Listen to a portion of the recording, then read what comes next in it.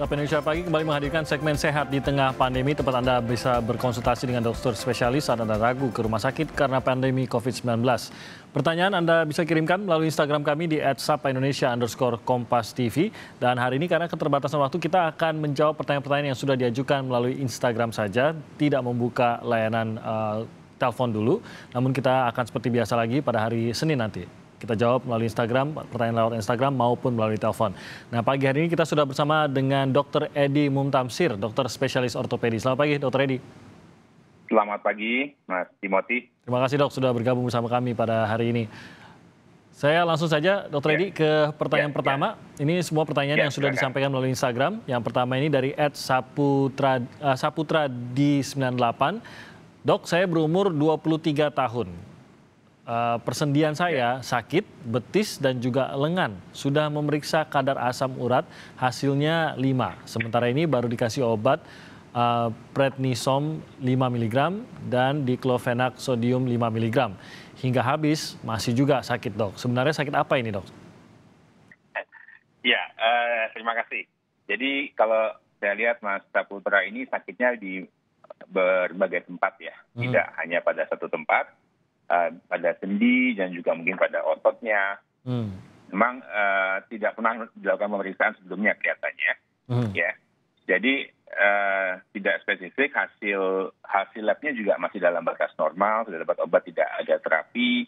Uh, jadi rasanya memang memang ada sebagian uh, nyeri yang disebut uh, multiple site pain, ya, hmm yang biasanya uh, penyebabnya juga tidak jelas ya. Jadi seandainya uh, Mas siapa ini Mas Saputra ini hmm. sebaiknya memeriksakan diri ke dokter untuk mencari penyebabnya apa sakitnya.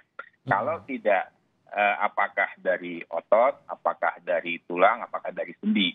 Dan itu bisa dicari uh, uh, dengan pemeriksaan uh, apa namanya pemeriksaan fisik dan juga anamnesis pertanyaan dari dokter untuk menggali sebabnya hmm. dan juga pemeriksaan penunjang lainnya jika diperlukan seperti foto, CT scan dan lain-lain.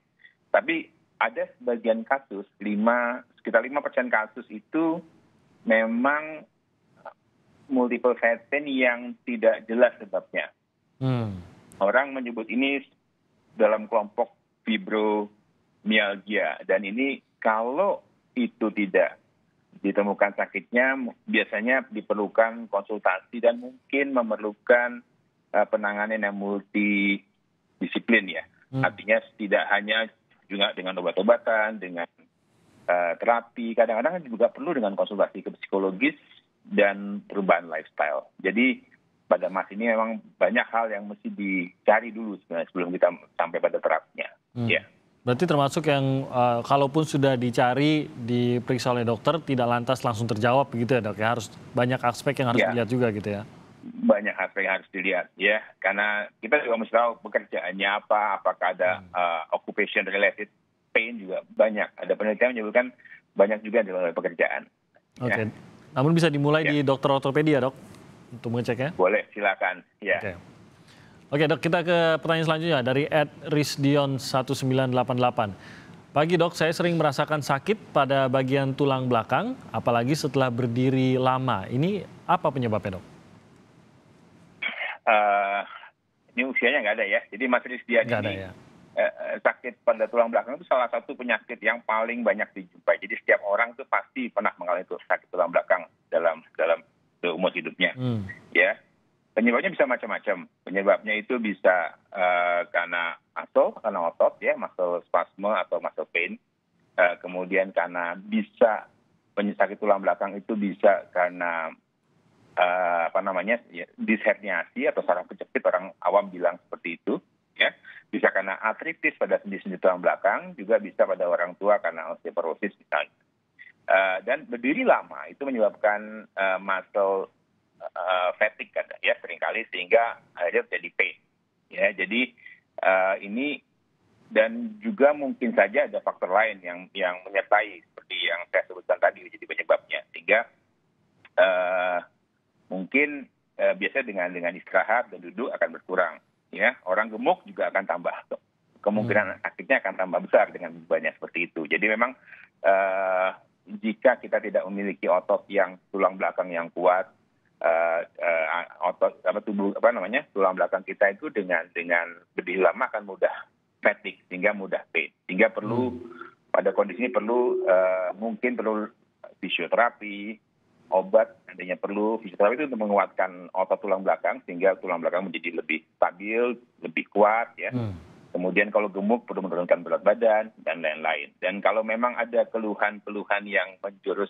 ke arah yang lebih serius seperti kok tambah ada kelemahan otot, ada penurunan kekuatan, sebaiknya konsultasi ke dokter spesialis ortopedi yang khusus hmm. bagian tulang belakang. Oke, nah saya, sayangnya memang tidak banyak informasi yang ditawarkan oleh uh, pengirim tadi mengenai umur, berat badan dan lain-lain. Yeah. Tapi paling tidak penguatan tulang belakang itu yang satu hal yang uh, kita semua mungkin juga harus melakukannya. Kita ke yeah. pertanyaan selanjutnya dok dari Ed Ababil underscore cake. Saya berumur 42 tahun, nyeri di siku tangan kanan sejak 4 bulan yang lalu. Kegiatan saya sehari-hari jualan kuliner dan rasa sakit di siku ini cukup mengganggu aktivitas saya. Nah, selama ini saya hanya mengonsumsi obat herbal, namun tidak ada perubahan. Mohon penjelasannya dok, apa yang harus saya lakukan? Ya, nyeri di siku juga salah satu nyeri yang sangat sering.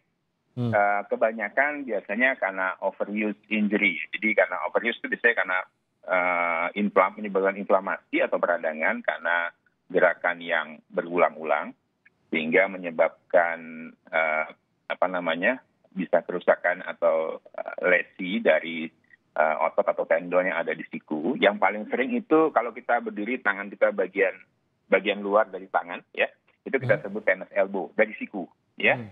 Tennis elbow. Jadi orang mengenal itu sebagai tennis elbow. Kalau bagian dalam dari siku itu kita sebut golfer elbow. Walaupun tidak tidak selalu ada kaitannya dengan dengan kedua olahraga itu. Tapi memang banyak hmm. diderita oleh olahragawan, banyak diderita oleh uh, apa yang banyak melakukan repetitif gerakan yang berulang pada yeah. sendi itu, ya misal dan misalnya pada tukang kayu, pada kuk kuk kuk apa pada chair gitu, pada koki hmm. juga sering demikian, ya sehingga uh, menyebabkan overuse pada otot yang ada di sana dan menyebabkan inflamasi yang bisa berlangsung lama dan sangat mengganggu.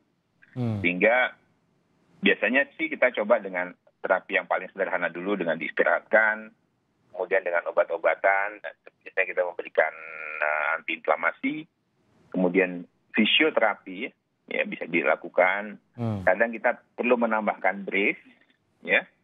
Uh, juga kita bisa memberikan injeksi jika diperlukan. Injeksi itu bisa berupa uh, steroid dosis yang rendah hmm. atau sekarang bisa juga orang memberikan PRP namanya uh, platelet plasma ya. Jadi suatu uh, yang kita ambil dari darah, kemudian kita masukkan lagi, kita proses, kemudian kita masukkan lagi ke dalam sendi. Itu untuk mengurangi sakit atau menyembuhkan dok? Itu meng, men, menghilangkan inflamasi karena oh, Oke, okay. inflamasinya. Inflamasi, karena inflamasi, inflamasi ditekan dengan itu sehingga sakitnya akan hilang. Kemudian yang paling uh, jarang sih kita lakukan seandainya perlu saja kita akan melakukan pembedahan jika memang semua terapi-terapi itu tidak uh, mengurangi mengurangi keluhan. Hmm. Ya. Yeah. Oke, okay. itu yang bisa dilakukan. Uh, kita ke yeah. pertanyaan terakhir dok dari @yusuf.moh. Uh, saya berumur 20 yeah. tahun, setiap saya bangun tidur, leher sebelah kanan saya ini suka sakit dok. Anehnya jika sudah mandi dengan air hangat, sakitnya hilang. Mohon penjelasannya dok, saya tidak tahu ini sakit apa. Ya, ini juga seperti tadi ya back pain. Ini sebenarnya cuma bagian leher. Jadi hmm. leher itu juga bagian-bagian yang sangat sering mengalami keluhan. Dan penyebabnya yang paling sering memang yang paling sering kalau keluhannya ringan seperti ini biasanya dari otot ya dari muscle strain ya tarikan otot karena postur yang mungkin uh, kurang baik atau misalnya posisi tidur yang tidak pas ya uh, bisa juga karena bekerja di depan uh, komputer atau gadget yang cukup lama dengan posisi yang kurang uh, proper. Sehingga kita perlu dalam dalam baik dalam posisi bekerja atau uh, tidur pun dalam posisi yang yang pas mestinya ya uh, jadi biasanya keluhannya memang pain ya nyeri kemudian ada muscle spasm ya Hmm. Uh, jadi pencegah, pencegahannya gimana? Mestinya mungkin posture ya, posture yang bagus pada saat itu. Jadi misalnya uh, leher dan shoulder dan telinga itu kalau saat duduk misalnya kita dalam posisi yang yang satu satu apa garis lurus kemudian mungkin kalau banyak bekerja di depan laptop mesti sering-sering ada break ya sebentar hmm. untuk menghilangkan kepenatan kemudian juga ada yang menyebutkan smoking ya, merokok itu juga salah satu faktor Oh, yang iya? meningkatkan hal itu. Ya, jadi sebaiknya memang di dikurangi atau di di stop ya. Hmm. Kemudian mengangkut barang yang berat, kemudian tidur dalam posisi yang pas. Jadi artinya eh jadi leher dan badan supaya align dengan tubuh, misalnya tidak dalam posisi yang nekuk gitu ya. Oke. Kemudian ya itulah. Jadi banyak hal yang bisa dilakukan ya. Jadi paling tidak di- diperhatikan mengenai kebiasaan-kebiasaannya begitu ya dok. Mulai dari Ya. aktivitas sehari-hari hingga posisi tidur. Coba diperhatikan lagi begitu ya dok ya. Apa yang kira-kira bisa diperbaiki? Mungkin itu bisa dimulai dari situ dok. Iya, setuju. Oke, ini mungkin saran uh, untuk pengirim uh, terakhir tadi. Uh, Dokter Edi Mumtamsir, dokter spesialis ortopedi, terima kasih banyak dok sudah bergabung bersama kami. Semoga sehat terus dok dalam bertugas.